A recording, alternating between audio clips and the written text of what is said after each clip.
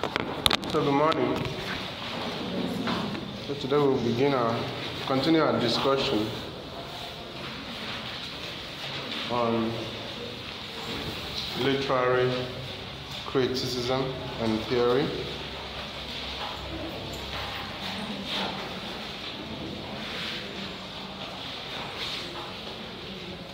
And we want to specifically uh, begin by examining why criticism is necessary. We must have hinted at this in our previous class, especially when we said that uh, criticism is inevitable because the nature of human being is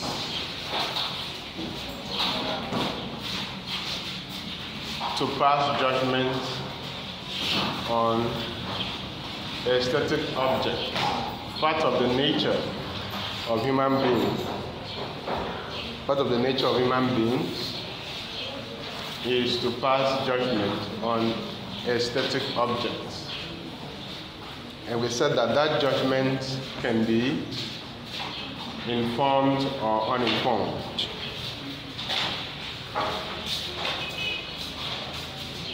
So from there we can continue by saying that criticism is necessary.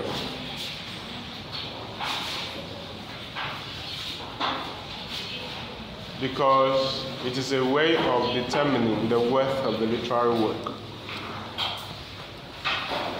Criticism is necessary because it is a, it's a way of determining the worth of the literary work.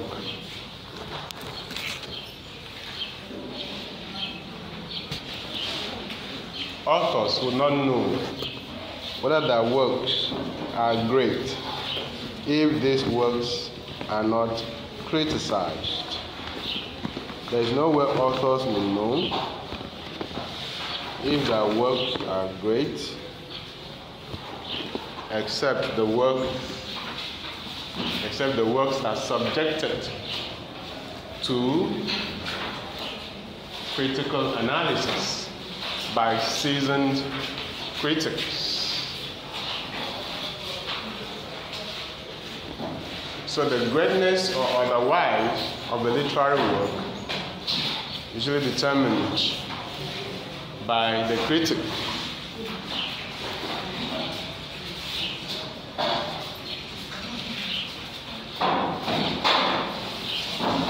It is in criticism that the great literature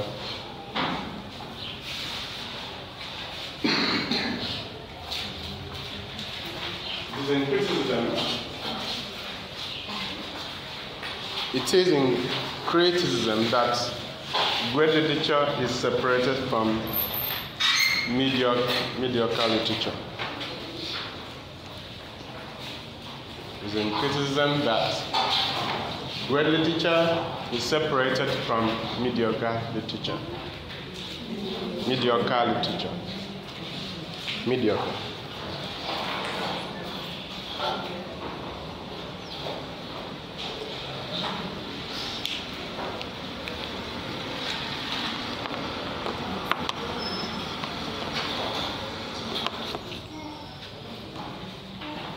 To begin with,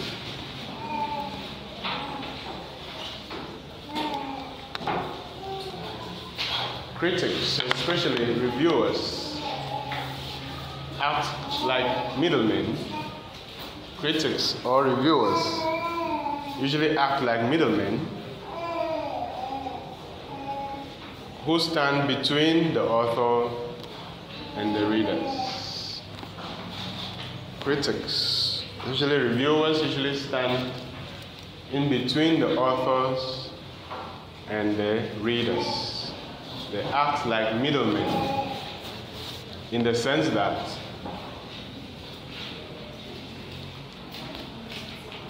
they have a way of they have a way of telling the author what the readers want to read and letting the readers know whether they should read what the author has written. So that is how critics act like middlemen, standing between the author and the reader. They have a way of telling the author what the readers would like to read, so that the author will know what to write. And they also have a way of informing the reader about the contents of newly published works and letting them decide, giving the information, giving the readers information so that they can decide whether they should read the work or not. So you could see that the job of the critic is a serious one because critics define the test of literature. Critics define the test of good literature at any given period in history. Critics define the test of literature, the test of good literature at any given point in history.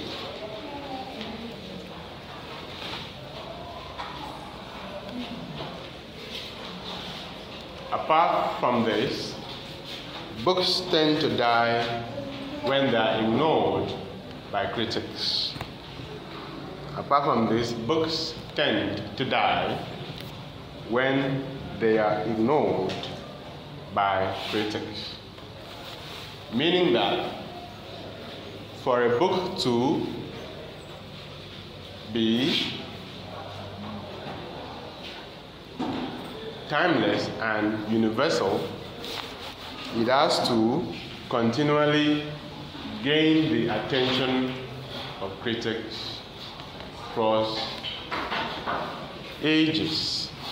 So the worth of a literature, the greatness of a work of art is seen in its ability to constantly gain the attention of the critic, irrespective of the age and time of the work. Right? Books tend to die when critics ignore them.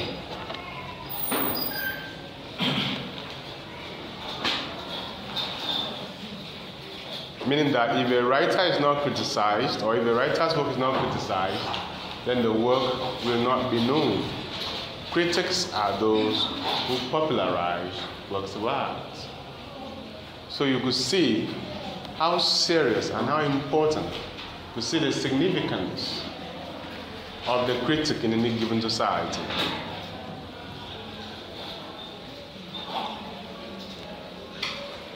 Critics are those who make books popular. And when they ignore books, those books die.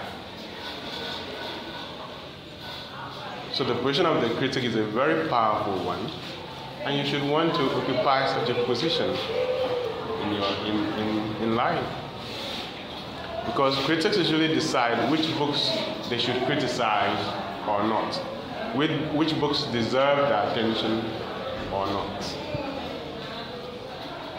Critic can decide the fate of a writer, no matter how great the writer is. All the critic has to do is to say, I don't want to criticize this book. I don't want to talk about this book. This book is not deserving of my attention. And the writer dies there. And it's, it's, it's, it's, it has recurred, it has been a, a recurrent phenomenon in literary history where books come out at a particular time and critics of the time ignore the book. And the book will not be heard again until maybe later ages when another critic will come up and decide that this book is worthy of attention. So that is the um, pride of place. That is how powerful, not necessarily pride of place. That's how powerful critics are. Okay? They determine the worth of literary works. They decide whether the work is going to be popular or not. They decide whether people will read the work or not. Alright? So it's a powerful position, and I want most of you to um, occupy that position. Alright? Good. So this makes um, for such a responsibility, for such a responsibility, the critic has to be someone that we can trust. Okay?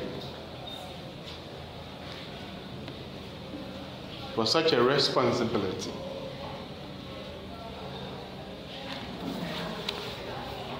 The critic has to be someone whose judgment we can trust. Okay? Do not trust the critic for any other thing but for his judgment. So the critic is like um, the judge in extra-literary sphere of life who sits down in court and listens to the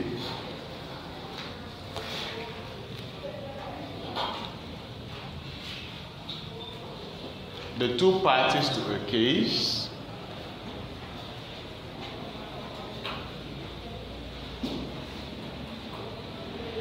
the prosecution and the respondent. And at the day end of the day gives his judgment.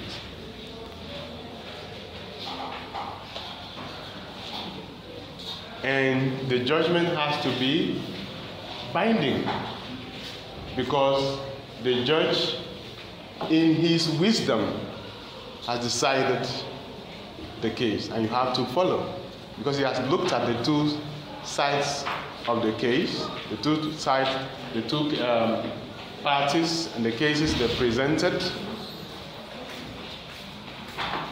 and has also looked at what the law says and then has decided on who's guilty or not. So that is the role of the critic. So the role of the critic can be compared to the role of the judge.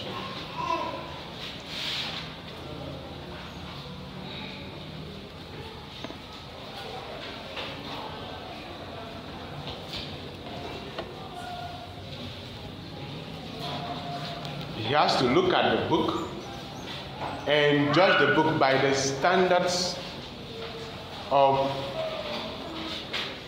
by the literary standards of his time. The critic has to look at the book and judge the book by the literary standards of his time. And so the judge, the critic has to look at the book and judge the book by the literary standards of his time meaning that the book might be likened to the case, the trial standards to the laws.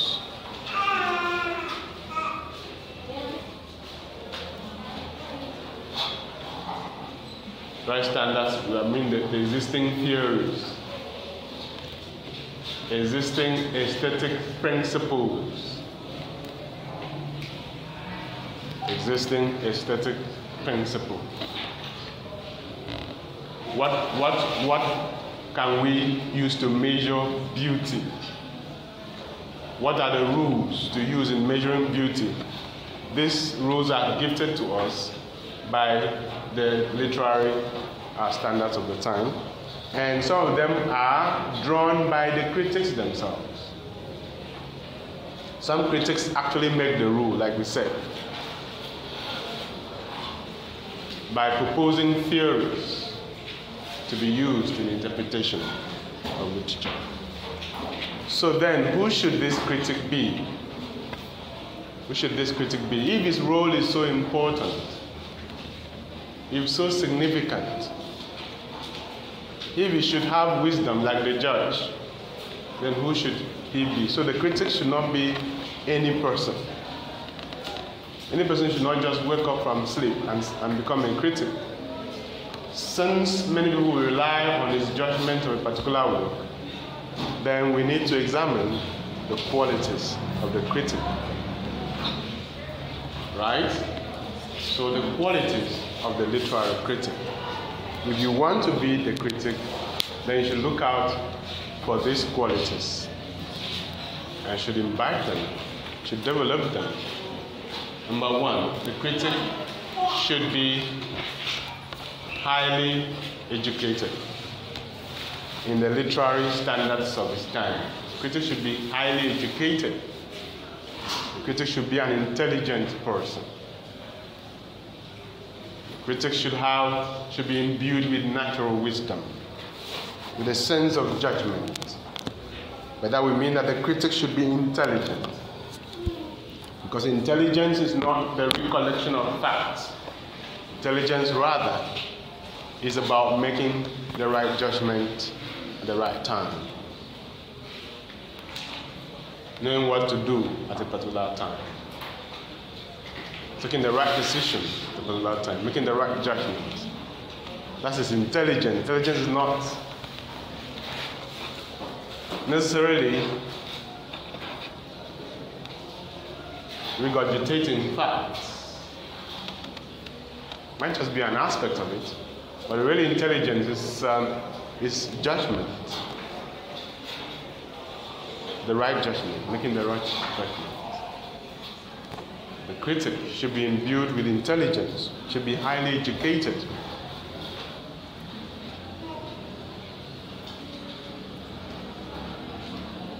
In fact, you must understand that the critic's education never ends. The critic's education never ends. The critic's education, there's no point in the life of a critic that he will say that he has got it all. So the critic is constantly improving himself. constantly keeping himself abreast with the developments in the field. So the critic's education never ends. The critic should be a voracious reader. The critic should be a voracious reader. The critic should be a voracious reader.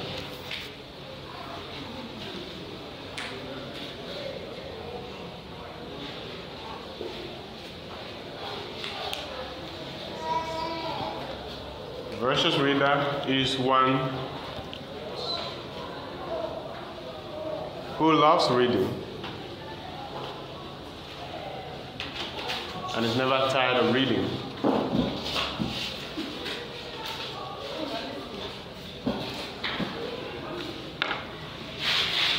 He's always hungry for books, always looking for books to read.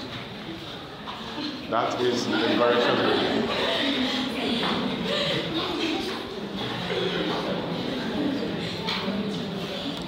I know we have voracious readers in the house.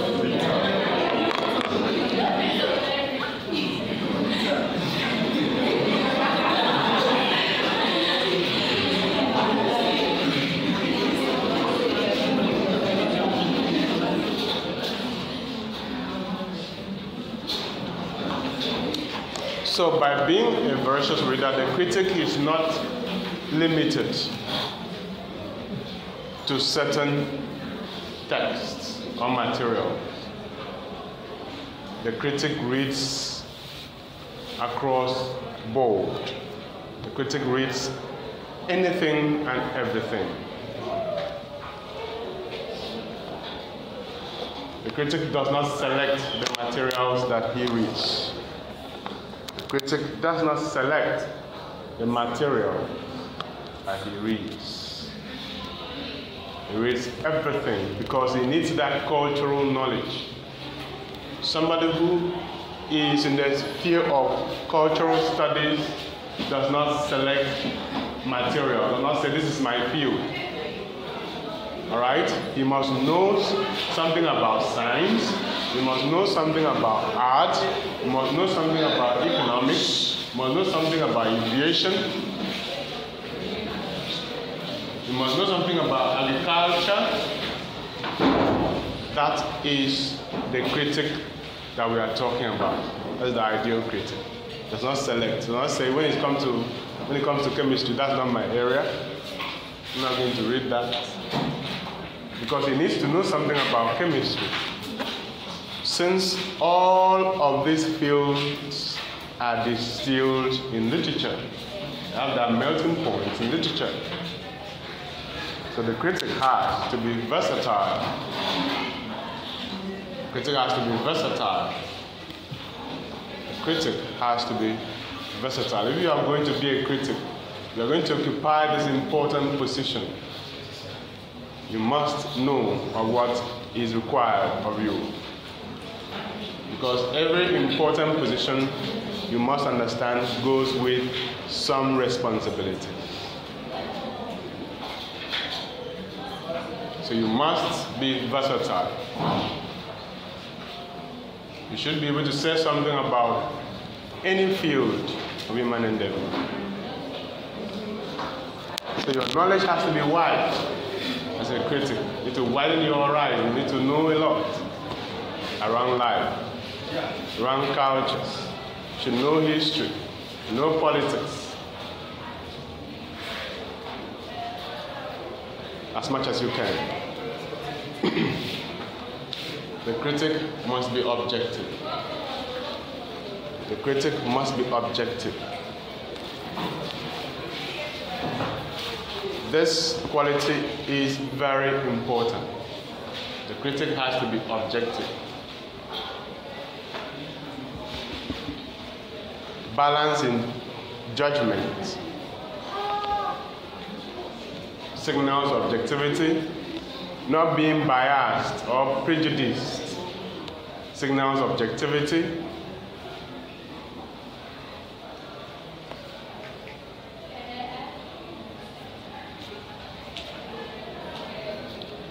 when the critic puts on his gloves, the, when the critic puts on his garbs, or when the critic puts on his hat,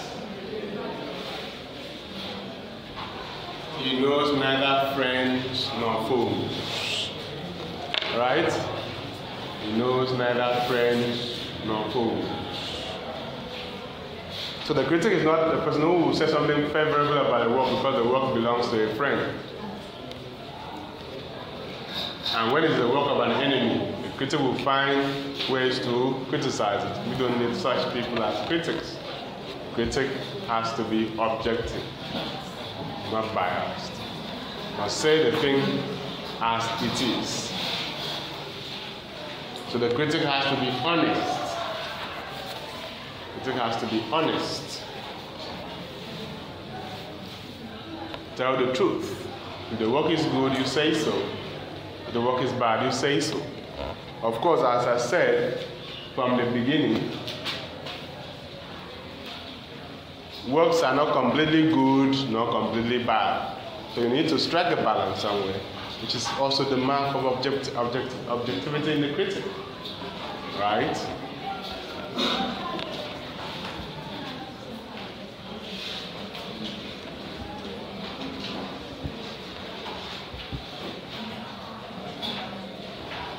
So the critic should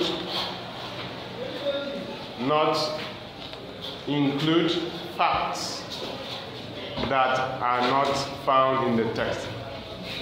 Should not force facts into the text. That is not honest. That's dishonest criticism. That is dishonest criticism.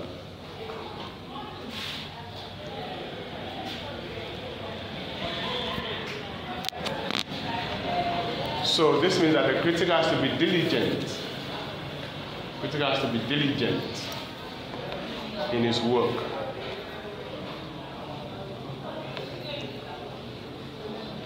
So as to deliver something that will benefit the audience.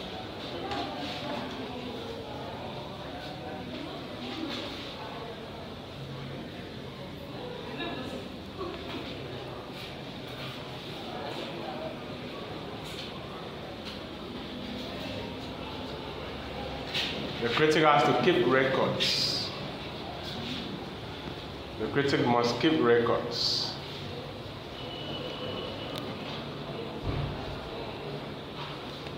The critic checks down notes and keeps records of what he has done.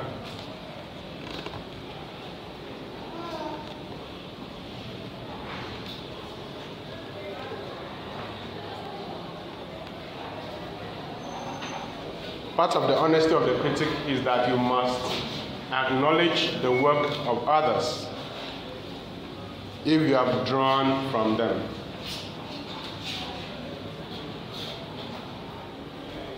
Part of the honesty of the critic is that you must acknowledge the works of others if you have drawn from them, you have taken information from them. There's nothing wrong in saying, according to Peter, then you quote Peter or even paraphrase that portion of the text, and, but acknowledge the person who said it or who had that idea. That's scholarship. Instead of lifting the whole paper and then place it, and then you call it your own, and it's a seminar paper you want to submit.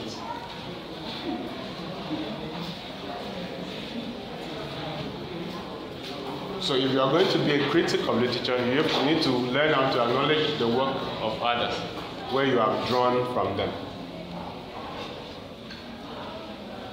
How you proceed is that when you pick a material, you have to take down the important information about that material. For instance, the title of the material, the name of the author, the year of publication, the place of publication, and the publishers and the number and the, and the pages where you draw information from. Once if you take a particular quote from page 2 at the end, add the page 2. So you remember that these are the important information that you need when citing these sources. So you have to take down notes.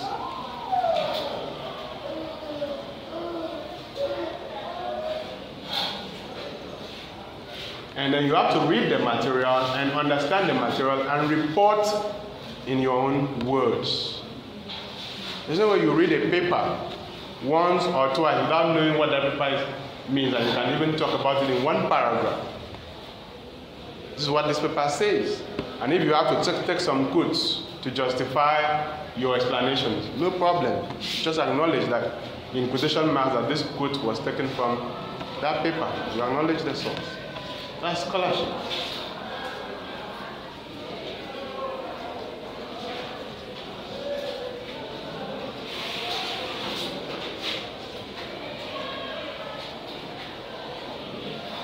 So you must start now and learn these things.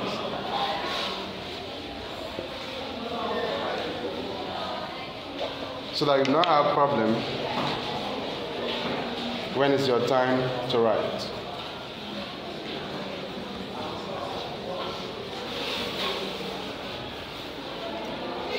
All right, so we proceed.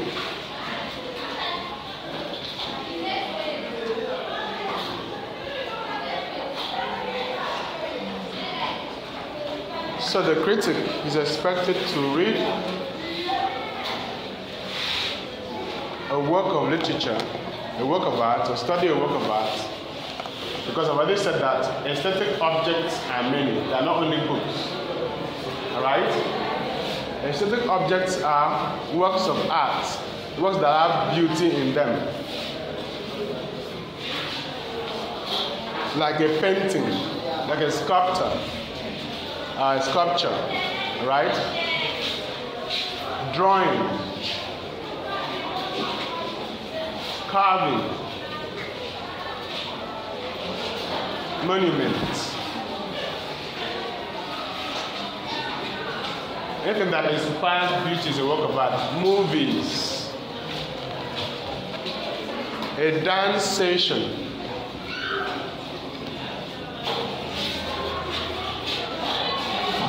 poetry recitation, performances.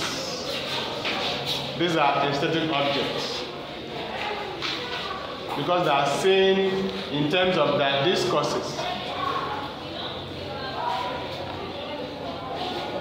Even a political rally can be analyzed as an as a work of art. Because an event contains a story. But it has a plot has a beginning and an end. It is structured and so can be taken apart to be understood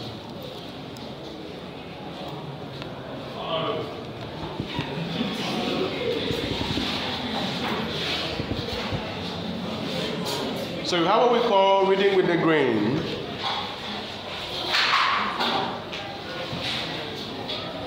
Remember that reading itself is is an act of criticism or interpretation.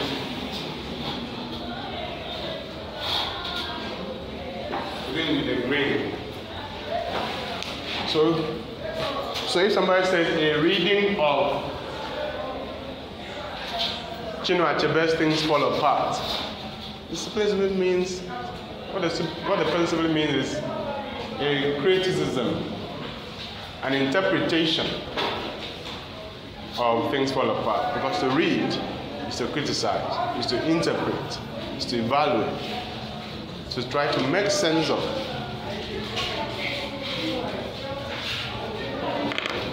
So reading with the grain refers to an interpretation that flows with the work's conventional meaning. Looking at forms of reading now. We're talking about reading with the grain and reading against the grain. Reading with the grain and reading against the grain. So we said that reading with the grain refers to what? An interpretation that flows with the work's conventional meaning. An interpretation that flows with the work's conventional meaning. That means this type of reading does not destabilize the traditional meaning of the work, does not act against the traditional meaning of the work. That means whatever the author must, must have meant while reading the work is retained as the meaning of the work when the critic is reading with the grain. Alright? So when an interpretation aligns, when an interpretation aligns with the conventional meaning of the work, we are talking about reading with the grain. Alright? And then we have reading against the grain. Reading against the grain.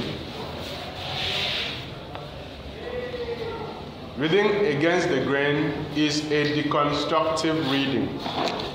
Reading against the grain is a deconstructive reading.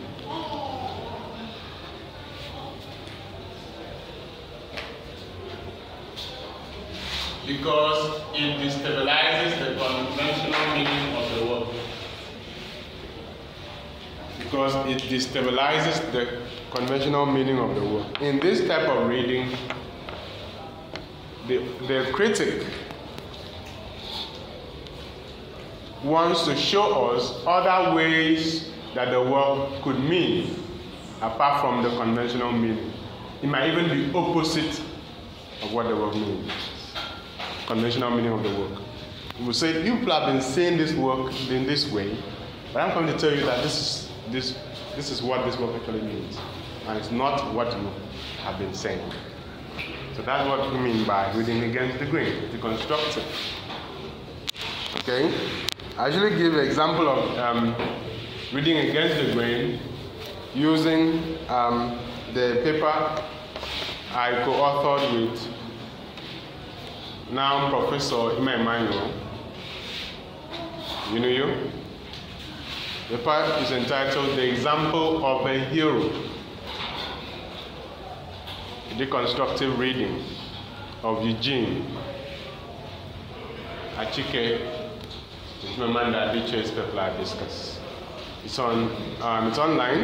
You Google online. You can download PDF to your phone and read. The example of a hero. The constructive reading of Eugene in Chimamanda Adichie's Purple Hibiscus. In that paper, we argued that in that paper, we argue that this is the beauty of literature, right? This is what makes literature um, so interesting and exciting because you can read a text and come away with your own meaning, particularly a meaning that challenges the conventional meaning. And if you have your facts and your points correct, you will be able to convince your readers still. Okay? In literature, not everyone has to be, agree with you, but if you can present your facts convincingly with points to back them up, then the reading stands. So you might want to read that paper and see what we say because we argue in that paper that we argue in that paper that it is Eugene who is the hero of Purple Hibiscus, not Kambili.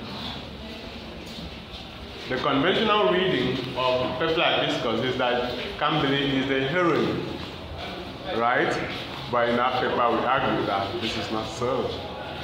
It's actually Eugene is the hero. And that Eugene is not a bad person. That's what that Eugene is a good guy, right? Okay, so if you don't believe, you have to read the paper and then see whether you will not be convinced at the end of the when you see our argument. All right, so that's reading against the grain. And um, reading against the grain is usually quite challenging but exciting you can carry it out.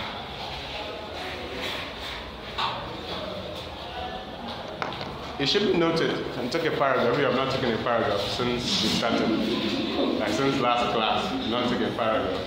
And since the beginning of this class, not taking a paragraph. You can take one now, right? Take a, take a break. The relationship between the reader and the text, the relationship between the reader and the text is transactional. The relationship between the reader and the text is transactional. That is, the reader uses his or her past knowledge and experiences to navigate the events in the text in order to create meaning. The relationship between the reader and the text is transactional. The reader does not come to the text with nothing. I say the reader does not come to the text with nothing. Good. So when the text and the reader meet, they exchange something. Something um, passes between them. Okay? They affect each other. The relationship between the reader and the text is transactional in the sense that the reader uses his or her past knowledge and experiences. And that includes how many books you've read before in your life. Okay? That will help you understand this from that text. That's why sometimes some people read some texts that they still don't understand. You have to understand with them okay, in the lack of understanding because they may not have been prepared to understand the book.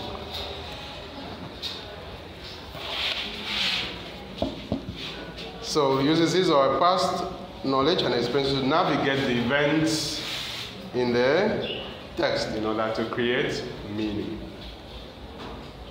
So we might not always have the same level of understanding of the text because of this transactionality of the text between the text and the reader.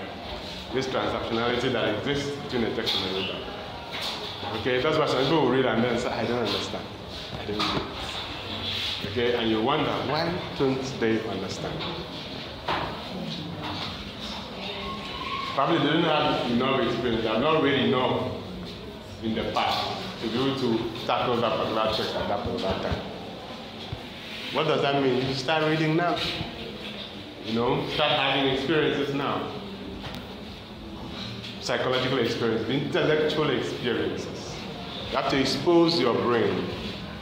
Because the more exposure your brain has with books, the more um, the, the maturity. Okay, and the sooner the maturity of the brain. Okay?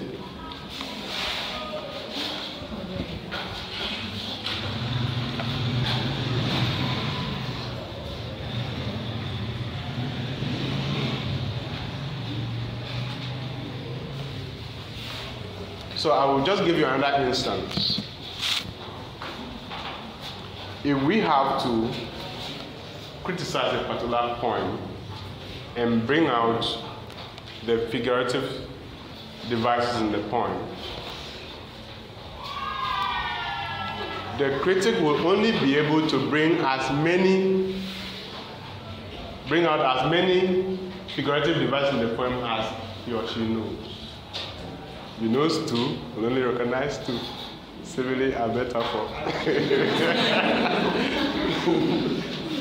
so no matter, no matter how many times he or she will read the text, she will only see simile and metaphor. That's all. Okay? And so the understanding of that critic will be limited. Will not be able to explore the beauty of the text because his knowledge is limited. But the critic that has vast knowledge, vast repertoire of literary devices will be able to harvest them. And, and he will have a richer, more meaningful criticism than the other critic. All right? So with that knowledge, with that example, nobody should tell you to start widening the horizon of your mind. Okay? Through excessive and extensive reading. Because you bring your past experiences to bear, your maturity, your mental maturity to bear, the interpretation that. That's all. There's no other way. Okay?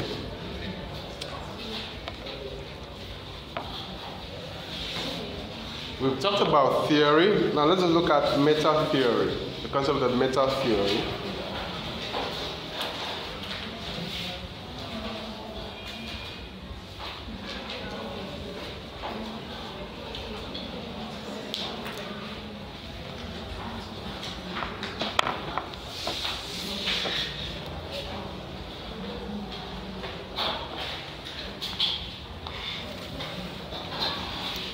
Meta theory can be defined Meta theory can be defined as an overarching literary theory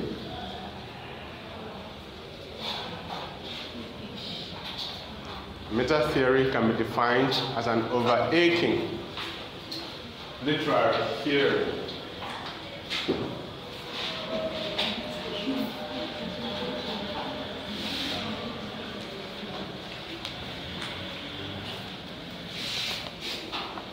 That encompasses all possible interpretations of a text suggested to it, suggested to it by readers, or suggested by, by its readers. a meta theory is an overarching literary theory that encompasses all possible interpretations of a text suggested by its readers. Full stop. Take it again, perhaps for the last time.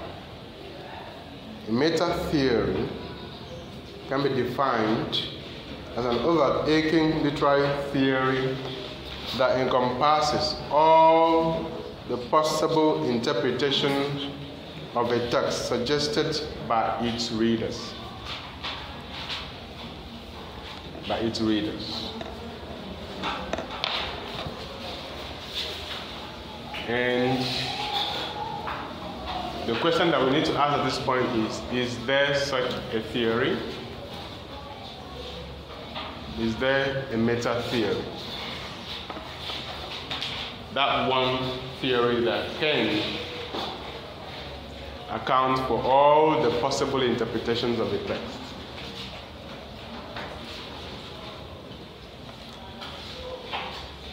Is there a meta theory?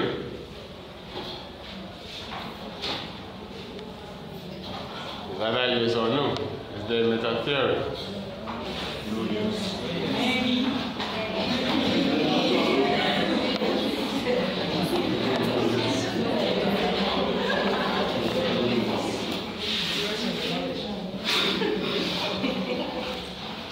All right, so the answer is that there is no meta theory.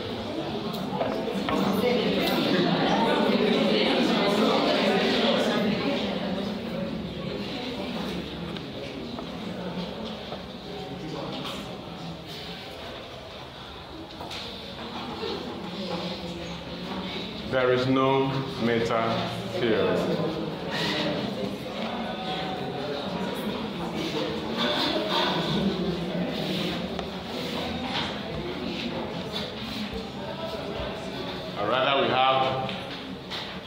Overlapping literary theories. We have overlapping literary theories. Theories that have overlaps in their tenets and principles, and which can be grouped into schools of criticism.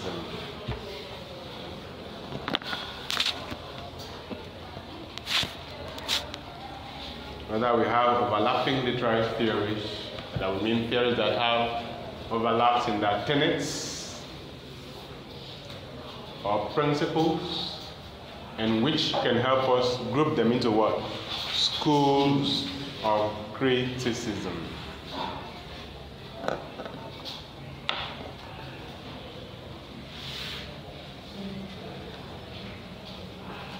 Because they have the, these theories tend to have similar tenets, overlapping tenets. Okay? For instance, theories like Marxism, postcolonialism tend to have similar tenets. They tend to align.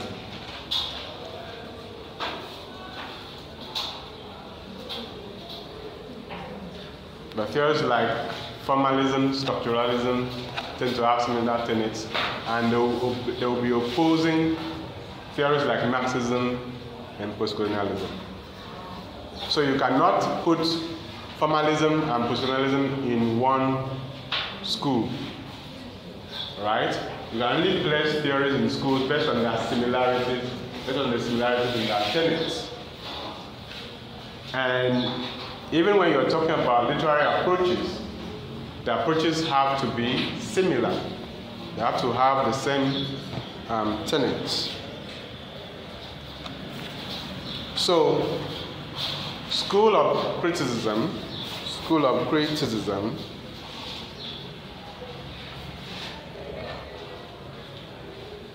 refers to a group of theories, refers to a group of theories that are based on similar large scale assumptions.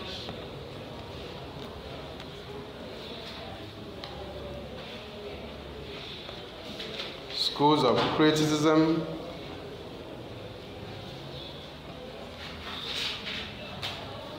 refers to a group of theories that are based on similar large scale assumptions.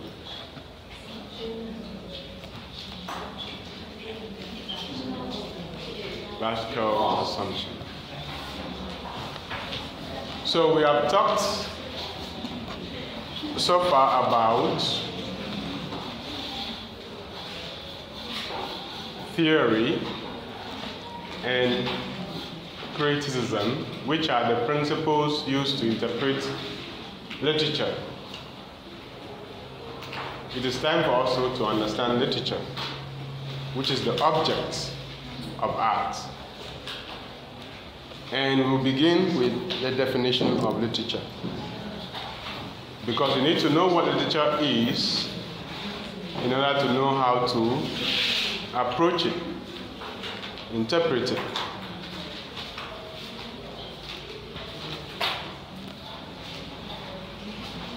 So the word literature has a Latin root, litera.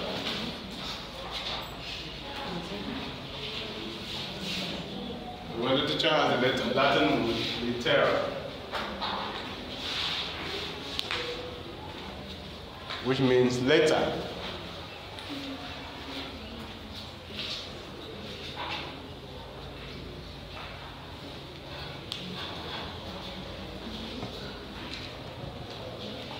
This implies that literature this implies that literature is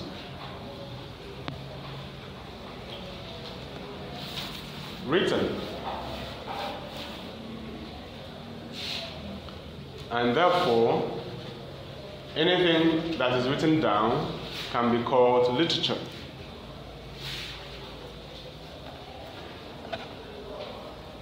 and therefore anything that is written down can be called literature.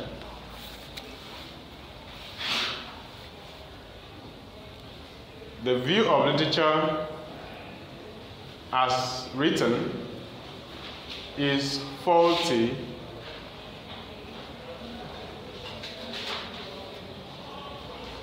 and defective at two points. The view of literature as written is faulty or defective at two points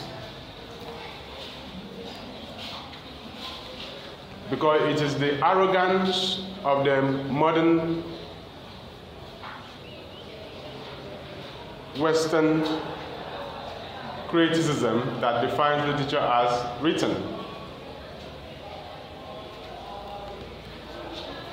It is the arrogance of the modern Western critic that causes literature to be defined as what? Written. So the first problem with the definition of literature as written is that it ignores the existence of oral literature. It ignores the existence of oral literature. It ignores oral literature and pretends that oral literature is not deserving to be called literature. That's the first problem, the definition of literature as anything that is written down.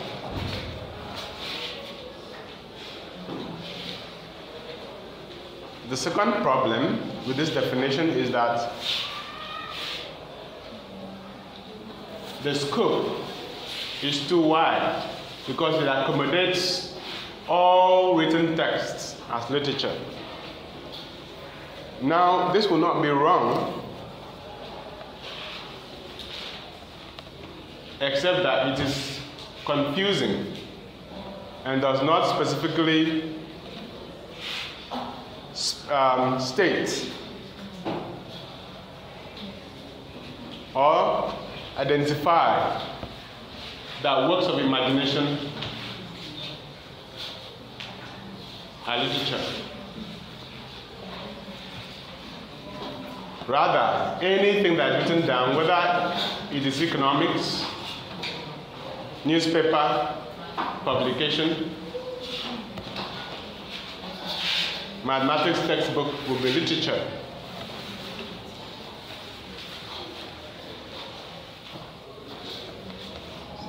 True, we have these literatures, okay?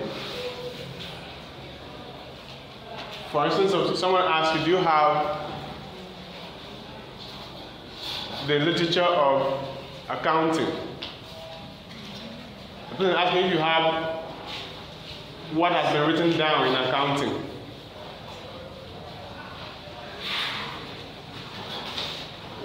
But the literature that we are talking about here is different and should be understood and specified as different because it is based on what? Creativity and imagination. The literature that we are talking about is based on what? Creativity and imagination. That is what literature means to us. in this course, there has to be, for a work to be qualified as literature, worthy of critical attention, the work has to have what? Creativity and imagination. There has to be an aesthetic object. It has to have a story, told structurally, organized in such a way as to please, entertain, teach, inspire.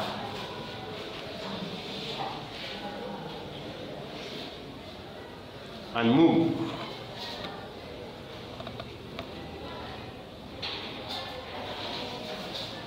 Okay, so at this point we can differentiate between the literature of knowledge and the literature of power. This one, at this point we can differentiate between the literature of knowledge and the literature of power. The literature of knowledge and the literature of power.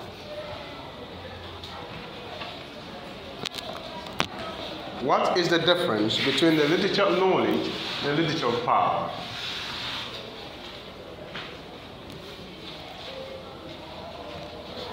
The difference is that the literature of knowledge aims to provide information, basically, to teach, basically. And that is what you find in economics textbooks, mathematics textbooks.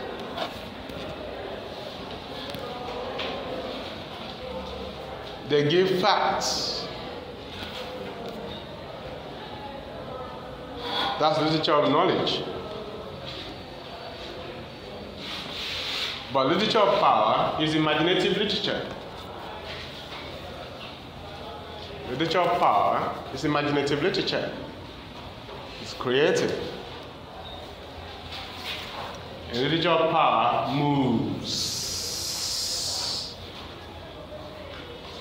Literature of power moves.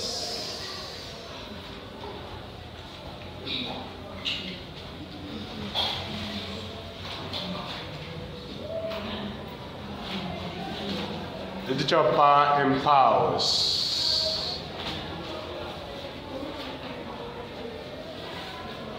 Literature your power empowers.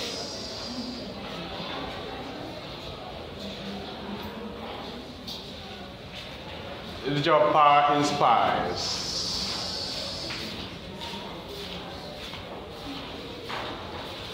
Literature your power inspires. Moves, empowers, inspires.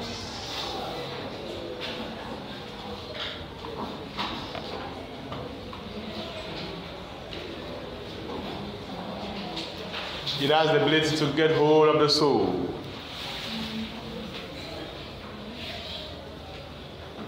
It has the ability to challenge stereotypes. It has the ability to change mindsets.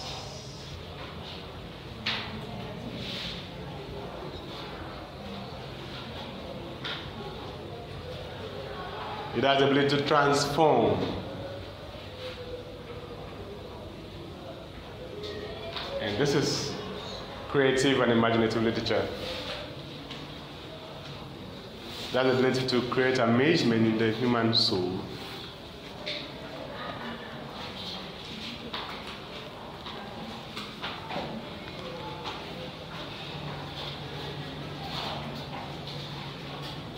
And ultimately, literature power can make people take action.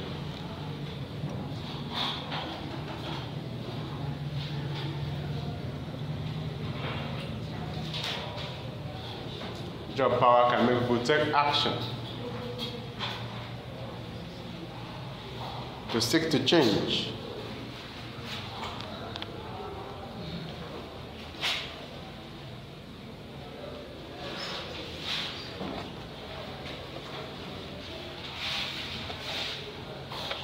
So to solve the problem, notice in the definition of literature as written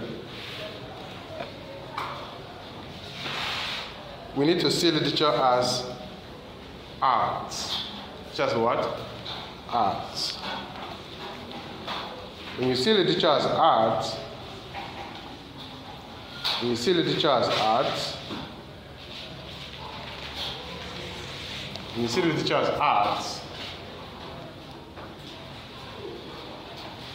then it will imply that literature can be anything that has aesthetics.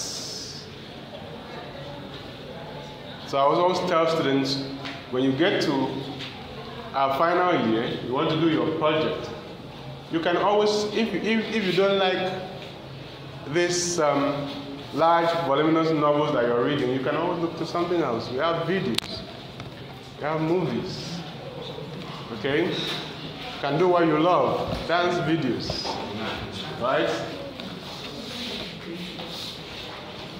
In one of the past sets, I, I have supervised the students who did something on dance um, videos, and it succeeded. I was I, supervised students who did something on movies. So you can do your, your what you love as far, as far as those things are. Those things have aesthetics. You don't have to die with the novels. All right. Have to um, slum and faint on top of novels or poetry. so if, even if you don't like the poetry that is um, written, you can do the one that is recited. Okay, take some um, recited um, poems, spoken word poems, and then analyze them as discourses. Okay, because this field of literature is so beautiful, so wide, and welcomes everyone. Whatever your interest is, you'll find it here, right? in literature.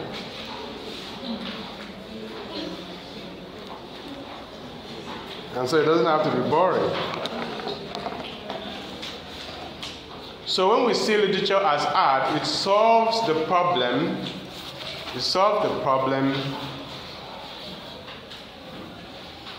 of ignoring oral literature, which is performance.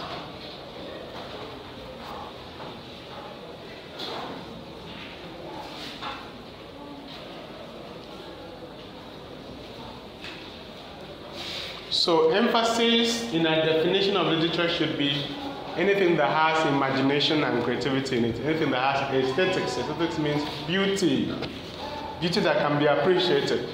Somebody dances and you say, wow, that dance is structured and can be analyzed as a literary work. Right? Because that's beauty.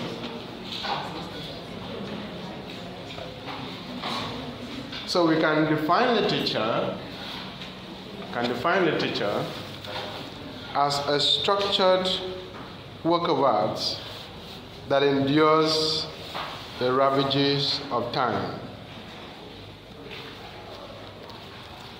Can define literature as a structured work of art that endures the ravages of time.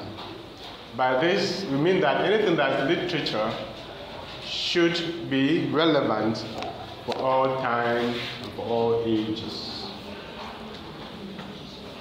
Especially in terms of the themes contained in them. Anybody, whether in, um, in the past or in the present or in the future, should pick up the text and read and still enjoy it as literature. Because it contains timeless and universal themes, ideas, issues. Okay? Like love, like jealousy, like hatred, and Okay? Patience, endurance, generosity, selfishness.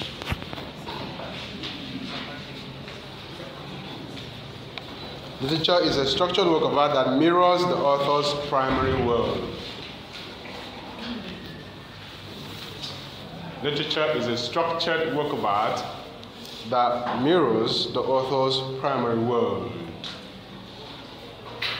Literature is a structured work of art. Structured means that it has operating principles, it has rules, right? It is highly organized. It is, it is crafted. What I mean by structure. It is built. It is not, it's not um, produced by chance. Okay?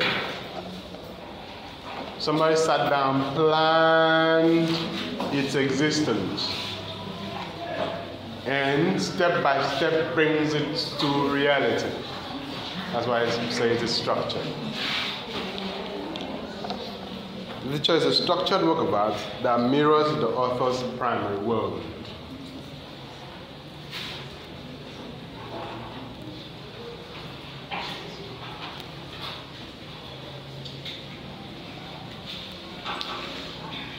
Literature is determined by its value. Literature is determined by its value.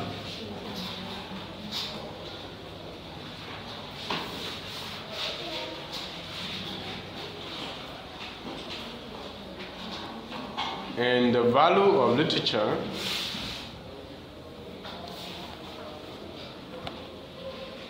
is seen in its ability to capture the human imagination and hold it for a considerable length of time. It mesmerizes, makes you wonder.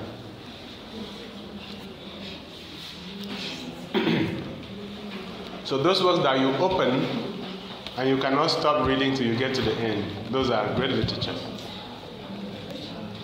because it arrests you and hooks you and commands you to read and finish it. That's its literature.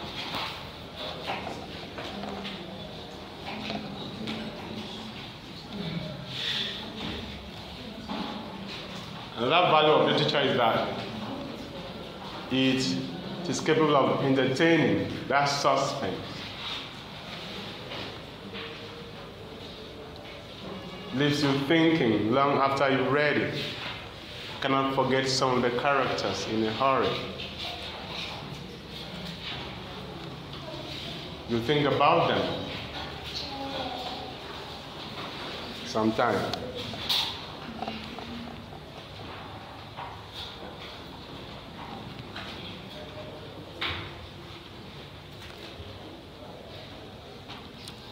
So literature is an aesthetic object.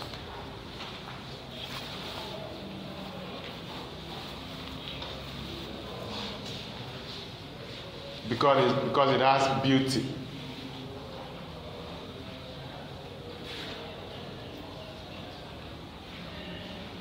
The beauty usually manifested in the use of language, the command of language.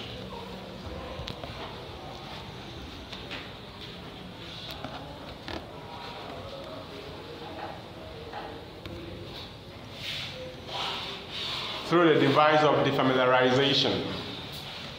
Through the device of defamiliarization.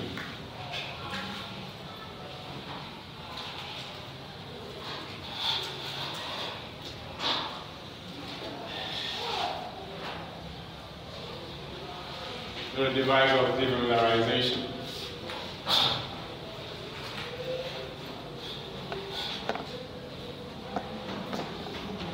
which is the art of, which is the art of making ordinary events look extraordinary.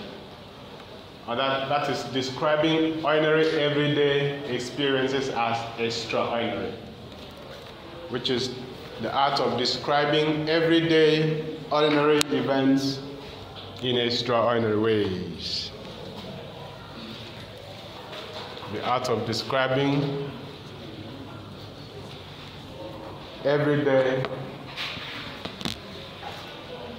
ordinary events in an extraordinary way. That is the familiarization.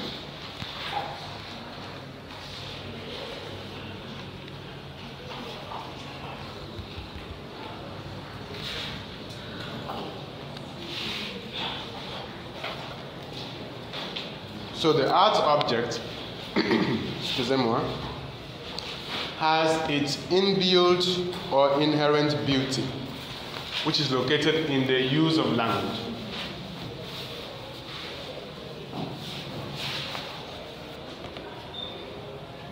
The art object has its inbuilt or inherent beauty located in the use of language,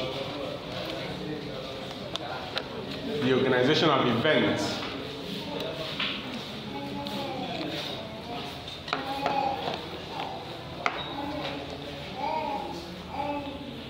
the, the mixing of the colors, the juxtaposition of sounds and sights and videos.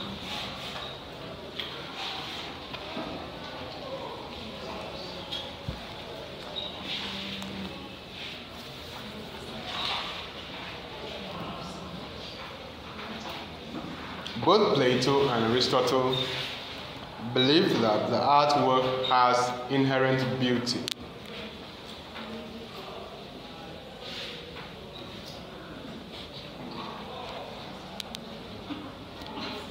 Both Aristotle and Plato believe that the artwork has inherent beauty.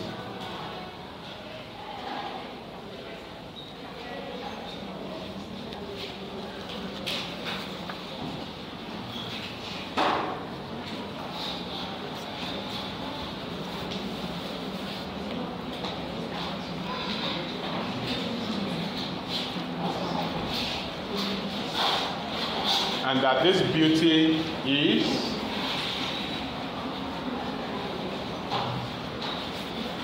formal. This is formal.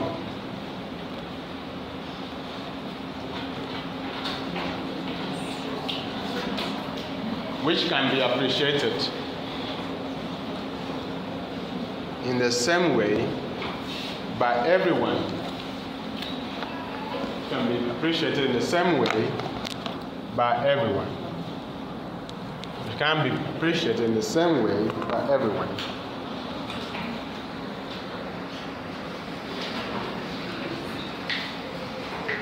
Someone like David Hume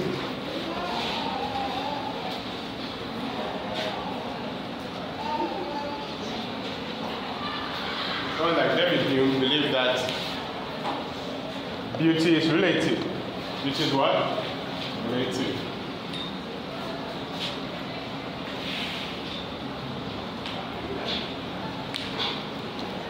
And that it is in the eye of the beholder. Beauty is in the eye of the beholder. Meaning that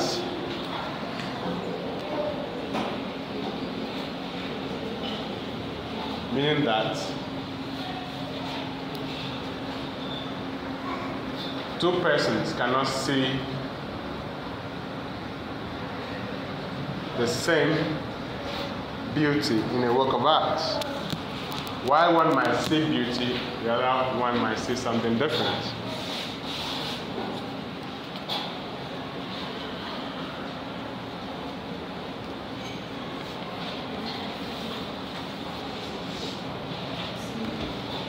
However, what you note is that literature is that which narrates the human story. Literature is that which narrates the human story. You cannot divorce story from literature. You cannot divorce story from literature. Literature is story, and it is the human story. Any, of any aesthetic object can tell a story. Eh? Example, if you see a drawing, that drawing, there's a story behind it. And if you study well, you know the story. You can put back the story. Can bring out the story in the object. It doesn't have to be a storybook. Any art object has a story that it tells. And you, as the critic, can bring out the story in the art object.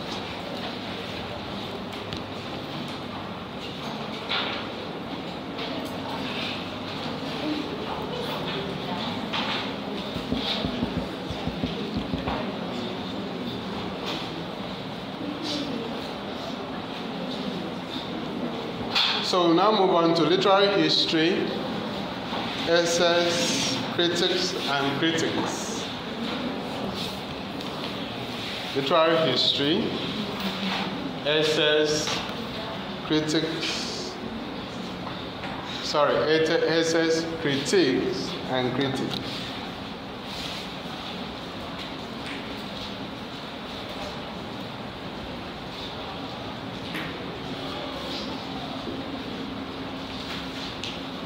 Says critique and critique. We'll begin with Plato and Aristotle.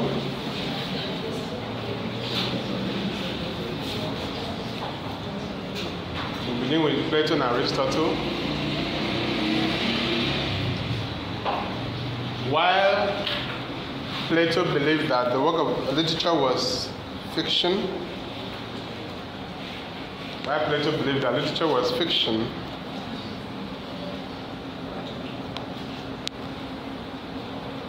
Aristotle believed that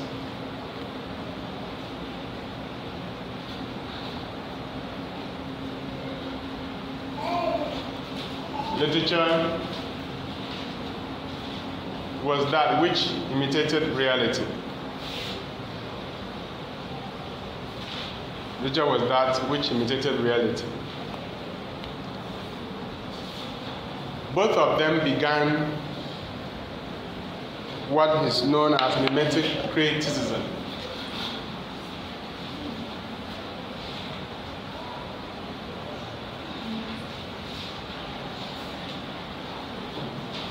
Both of them began what is known as mimetic criticism. A type of criticism which views literature as that which copies from reality. Except that, except that, for Plato, said that for Plato, literature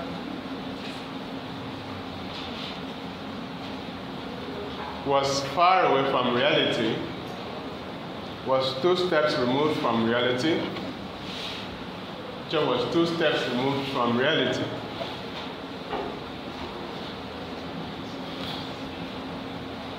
Since the poet copied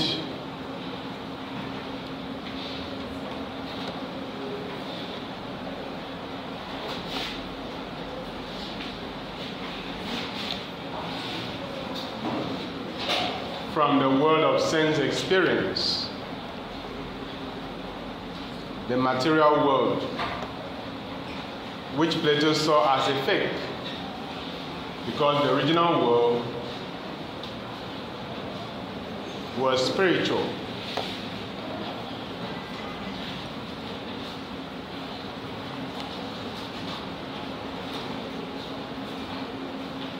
For Plato, the original world was a spiritual world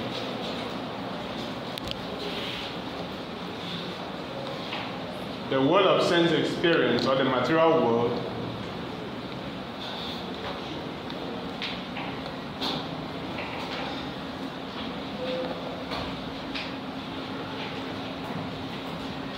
existed because the original form was in the spiritual world.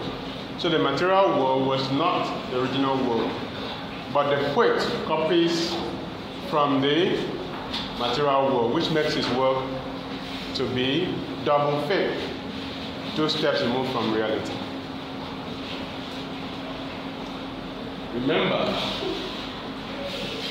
remember that for these ancient critics, these mimetic critics, reality is synonymous with the truth. Reality means truth.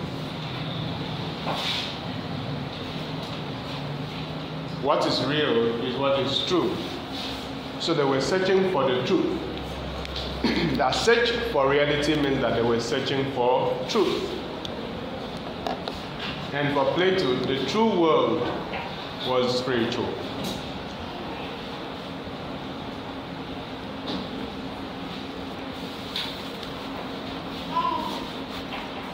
So Aristotle disagreed with Plato and rather stated that since the spiritual world cannot be discernible to the to the sense experience that the sense the world of sense experience or the material world should be taken as the original world.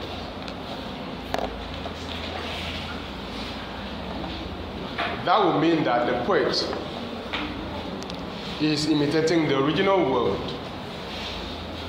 That would then mean that the poet is imitating the original world and not a fake.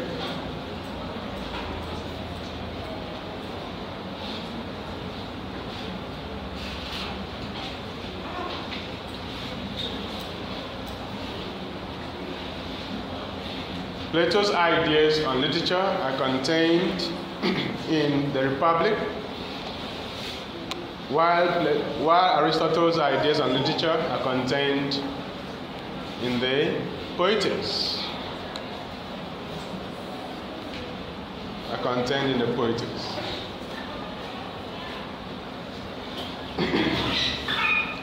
so it should be understood that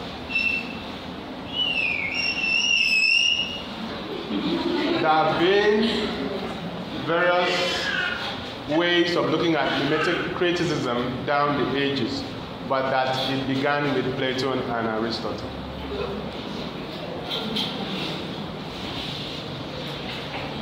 Till today, we, we are still looking at how, in what ways, works of literature should interact with the real world. Right?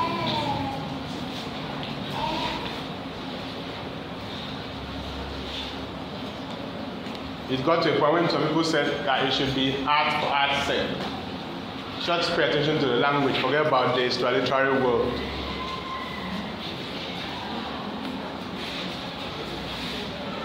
But literature is about telling the human story, basically. And so it cannot be divorced from what is going on in our real world. Literature has to take a stand, the poet has to take a stand politically and otherwise. Okay?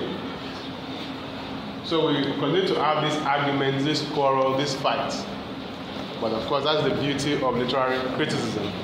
We don't always have to agree.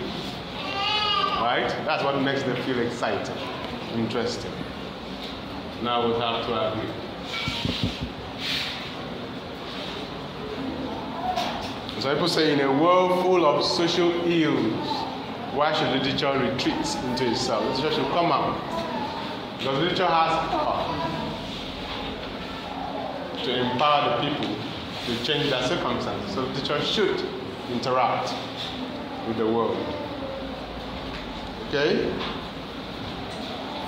Except that at the level of criticism, you have to be systematic and organized, you have to be imaginative, even in your criticism. And the way you should do it is when you mention a particular issue, you simply take the portion of the text that talks about that issue and discuss it. And not necessarily telling the story all over again. Just cite the relevant portions of the text the theme of hunger. The theme of hunger is seen in this character who uh, was hungry for three days without, um, and then you, you start the theme of war There's war in the novel between this village and this village. Simple. All right.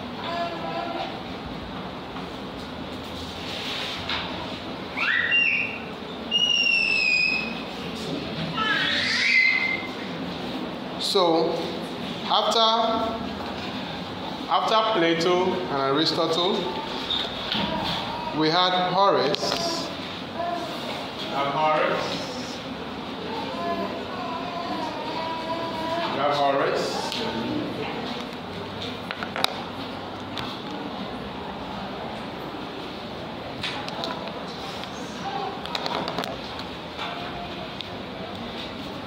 His full name is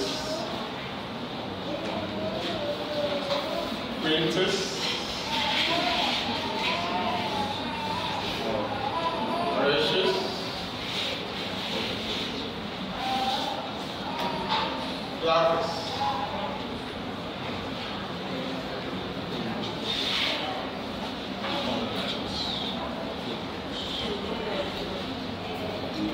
Or simply known as Horace.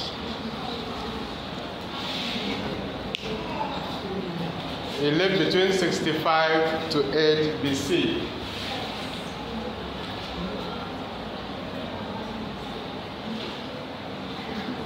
Right? Lived between 65 to 8 BC. Was a Roman poet and satirist. Have you ever heard of the Horatian satire? So this is the guy.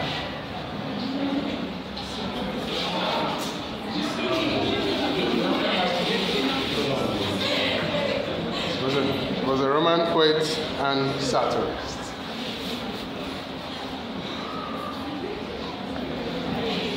His ideas on literature are contained in an essay entitled, of course, when we have more groups, will I, I will assign more uh, literary essays that you can also do meta criticism on. There are so many, but we have to take these ones. But when it gets to the modern period, the essays are just so mirrors, right? So you need to know the essays. Part of knowing uh, criticism is to know the important essays. Okay?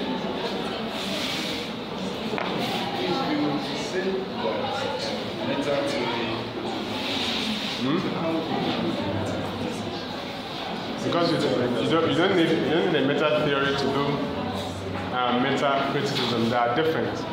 Meta criticism is um, not an all-encompassing criticism of the work. It is to it simply means to criticize that which has criticized another person.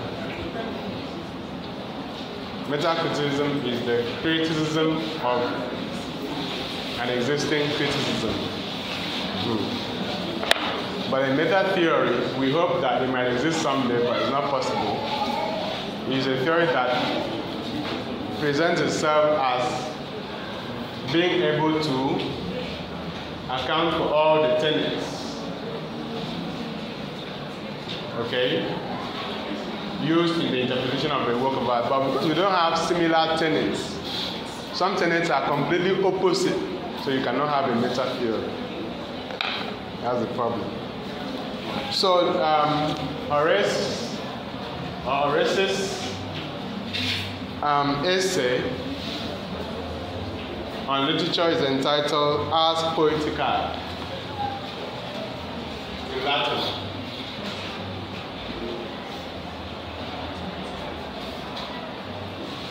Or in English, the art of poetry. Or in English, the art of poetry. English, the art of poetry.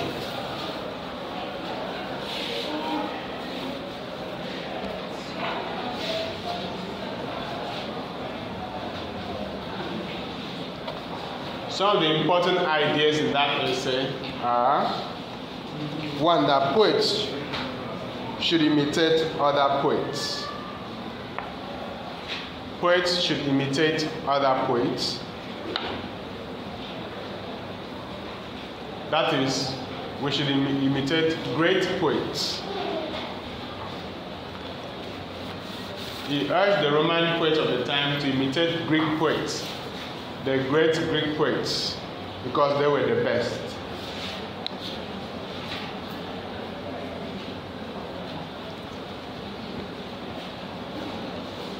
Poets should imitate other poets, not just any poet, but great poets of the Greek era, like Homer. He also said that critics should first of all learn the standards of literature of their time. The education of the critic is very important to Horace. Critics must first of all learn the, the standards of the literature of that time. He goes on to prescribe for for writers. He goes on to prescribe for writers. That means he presents some do's and don'ts for the writer. Presents some do's and don'ts for the writer. For instance, he says that writers should write about traditional subjects in unique ways. The writer should write about traditional subjects in unique ways.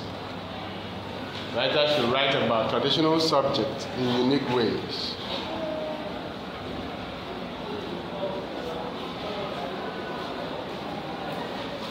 That means um, themes that people already know, are familiar with, you write it in such a way that it looks fresh to them, it's beautiful to them, it excites them. Okay? Because literature always focuses on human beings and the human story, and it's, it's the same theme all through, but how these things are crafted in a story by different writers what makes them unique. The way this particular writer treats the theme of love will not be the same uh, with another writer. He advocates moderation. He advocates moderation. He advocates moderation. Writers should avoid the extremes, especially in in in theme, in diction as choice of words, in subject matter and in style. Writers should do what? Follow the path of moderation. They should not go the extreme way in the depiction of character, the use of language, the depiction of subject matter and style of the work.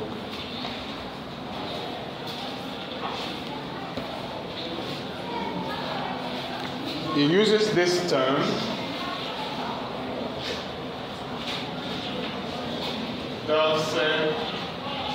utile,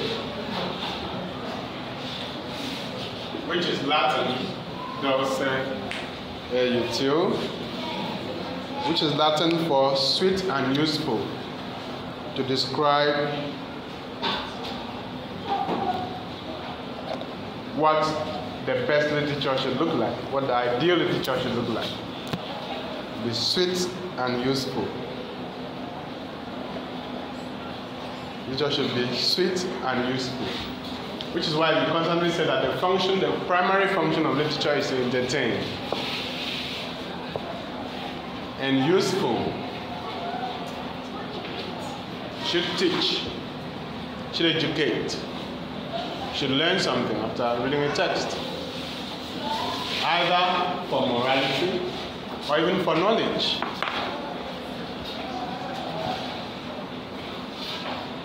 So the best literature is that which teaches and delights. The best literature teaches and delights. The best literature teaches and delights. The best literature at once teaches and delights. The best literature at once teaches, and what? Lights. We move on to Long- Longinus. To the Longinus.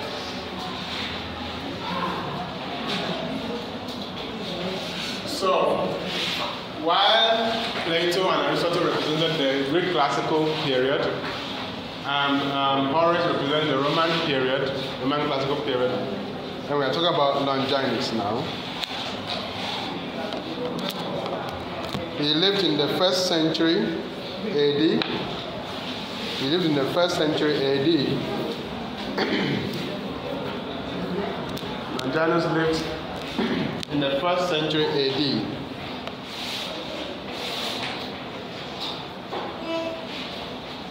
His major work on literary criticism is entitled On the Sublime. It's titled On the Sublime. On the Sublime.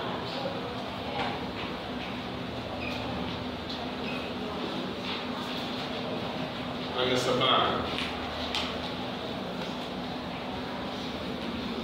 He is said to be the first is said to be the first comparative critic. He's said to be the first comparative critic. Comparative criticism is a type of criticism that draws from different regions and traditions. That draws from different literary traditions and regions. For instance, a comparative critic can combine an African work with a European work. A comparative, comparative critic can combine a literary work uh, from, uh, from Africa and a literary work from America in order to see the similarities in the experiences in the two places, the themes, the language, and so on. That's a comparative critic. Or even the differences. So we are saying that um, And of course, comparative criticism is very important today. You can establish connections between Africa and Europe, Africa and Asia, all of that. You'll be um, a very important critic.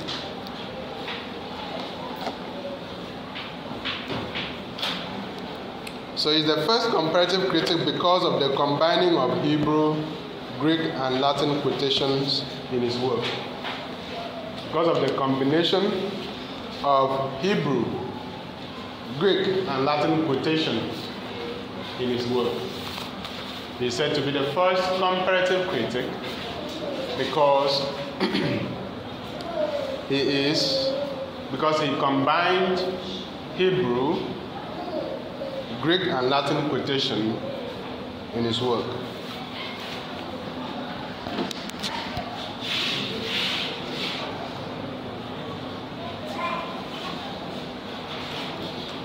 He said that critics, critics should concentrate on a single element of a text. critics should concentrate on a single element of Of a text.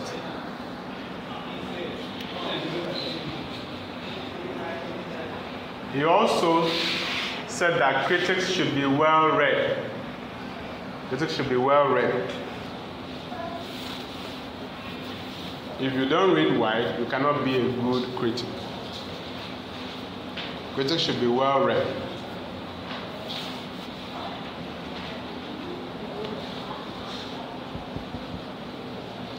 It is a well read critic that will be able to determine which work is great and which work is mediocre. it is a well read critic that will determine which work is great and which work is mediocre because he has vast literary tests, right? He has tested many literary works and so will know which one is good and which one is not. He will have the knowledge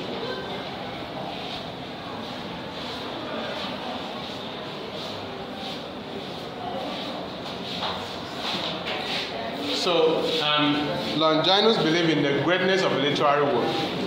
And the work of art has to be great. And what determines that it is this greatness that it means that it calls the sublime.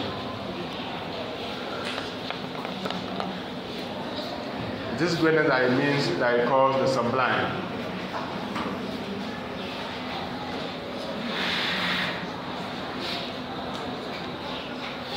There's a, the element in the sublime that makes it last forever, will never fade.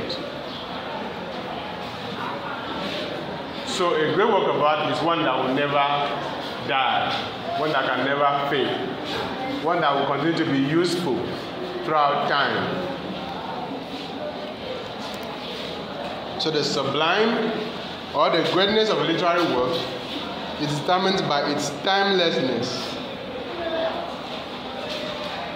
So that after many years, since the publication of the work, many years after, the work is still being studied. Right? Years after the publication of the work, it is still being studied. Okay? That's the greatness literary work. It bears repeated examination. Work bears repeated examination. So you can look at, you can attest to the existence of such works, even as we speak.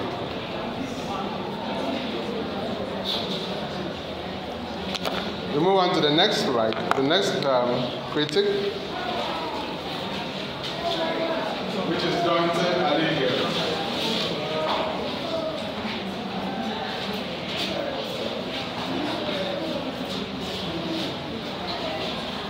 Dante, Dante Alighieri.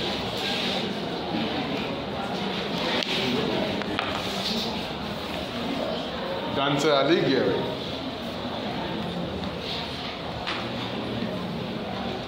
He lived between 1265 1265 AD to 1321 AD.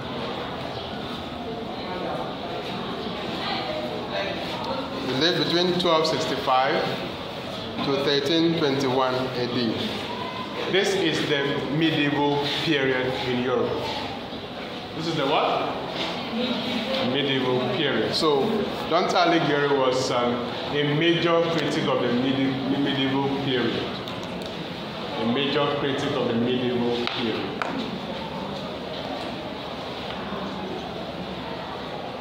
He was a major critic of the medieval period. He was born in the city of Florence, in Italy, during the Middle Ages was born in Florence, Italy, during the Middle Ages.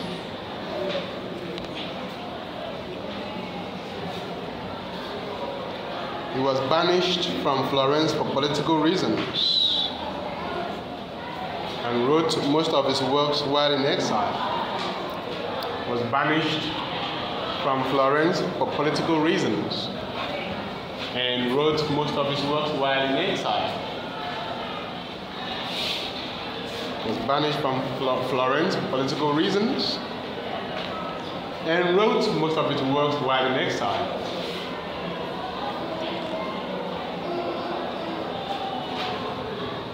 He's best known for his work entitled Divine Comedy. He's best known for his work entitled Divine Comedy.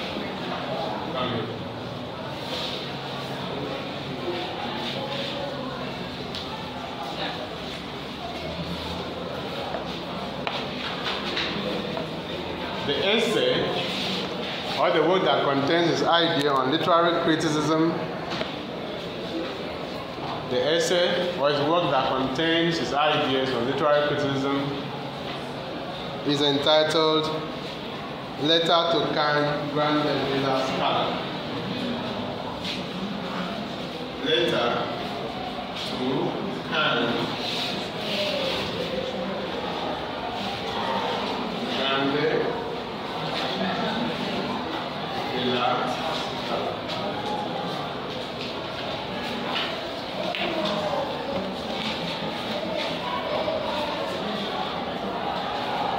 In this work, In this work,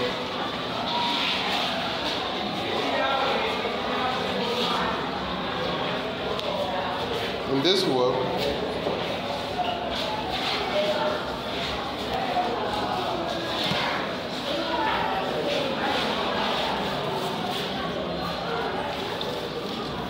Dante interested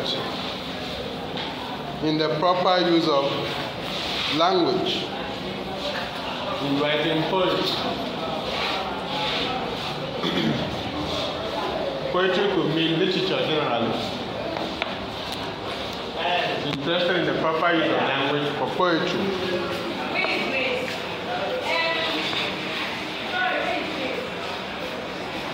He advocates the use of the vernacular. Excuse me. He advocates the use of the vulgar sound.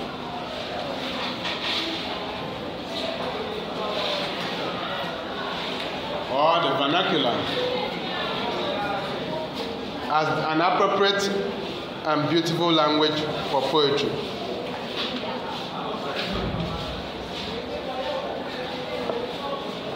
Remember that at this time, Chaucer in English uh, literature has also um, proposed the use of the vernacular to write literature.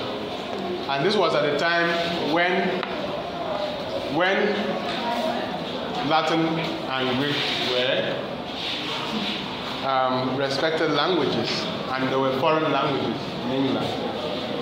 So Dante said that the proper language of poetry should be what? The vernacular. Another gift, that gift that Dante bequeathed literary criticism is is symbolic meaning. Symbolic meaning.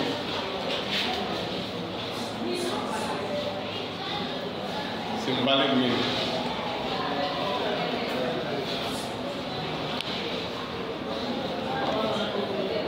Or what we might call allegorical meaning. Allegorical meaning. Before now, allegorical meaning was used in the interpretation of the scriptures, the Bible. But Dante advocates that it can be used in literature. So Dante introduced allegorical meaning to literature.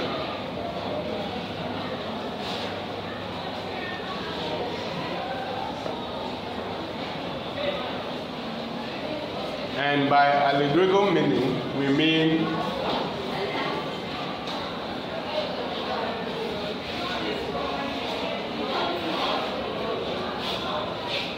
layers of meaning in a work of art. The presence of layers of meaning in a work of art. The surface meaning and the deeper meaning.